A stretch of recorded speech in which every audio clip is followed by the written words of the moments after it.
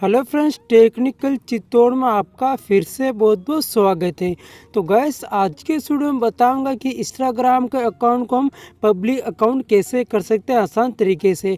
कई बार तो हम इंस्टाग्राम को प्राइवेट कर लेते हैं, कुछ कारण के वजह से तो हम उसको प्राइवेट कैसे, यानी पब्लिक कैसे कर सकते हैं आसान तरीके से।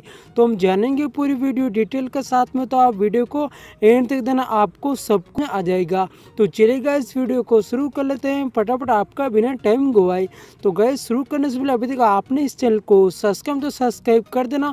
आपको दिक्कत दे रहा होगा, सब्सक्राइब बटन, उस सब्सक्राइब बटन को दबा देना।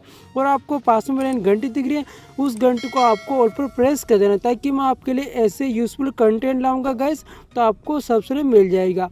उसको दिखे आपको प्ले स्टोर को ओपन कर दिखे आपको प्ले स्टोर को ओपन कर लेना और आपको इंस्टाग्राम को अपडेट कर लेना। है जैसे आप इंस्टाग्राम को अपडेट करोगे तो नए नए अपडेट या नए नए फीचर आएँगे तो आपको सबसे पहले मिल जाएगा। उसको दिखे आपको इंस्टाग्राम को ओपन कर लेना। है जैसे आप इंस्टाग्राम को ओपन करोगे तो आपको इस प्रकार इंटरफेस आपको दिखाई दे रहेगा और गैस मैंने अभी तक मेरे को इंस्टाग्राम पर आपने फॉलो नहीं किया तो इंस्टाग्राम पर और ट्विटर पर फॉलो ज़रूर कर लेना। उसको दिखे आपको प्रोफ़ाइल आपको क्लिक कर लेना। जैसे अपनी प्रोफ़ाइल पर आपको अकाउंट होगा तो आपको यूज़र नेम के पास में आपको दिखाई दे रहा है लोग का आइकन आ, चुका होगा। जैसे मेरा लोग का आइकन आ चुका है मैं इसके अकाउंट को प्राइवेट कर रखा हूँ। जैसे मैं इसको पब्लिक भी कर सकता हूँ आसान तरीके से।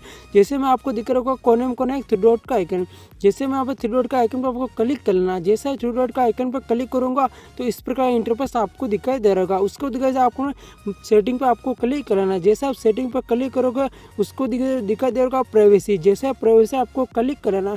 जैसे आप क्लिक करोगे तो आपको ऊपर ऊपर दिखाई देगा।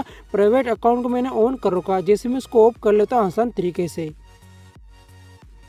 तो गाइस फाइनली मैं इस अकाउंट को प्राइवेट यानी पब्लिक कर लेता हूँ। जैसे मैं पब्लिक करूँगा तो अकाउंट पब्लिक हो जाएगा और मेरे को कोई फॉलो भी कर सकता है और मेरी प्रोफ़ाइल फ़ोटो सारा सब कुछ जानकारी देख सकता है आसान तरीके से। जैसे मैं पर फिर से प्रोफ़ाइल आइकन में क्लिक करूँगा तो ताला का आइकन हुआ, वो हट जाएगा आसान तरीके से। तो चलिए इस वीडियो आपको यूज़ यू कर देना। और गाइस अभी तक आपने इस चैनल को सब्सक्राइब तो सब्सक्राइब कर देना ताकि मैं आपके लिए ऐसे यूजफुल कंटेंट आपके लिए लाता रहता हूँ।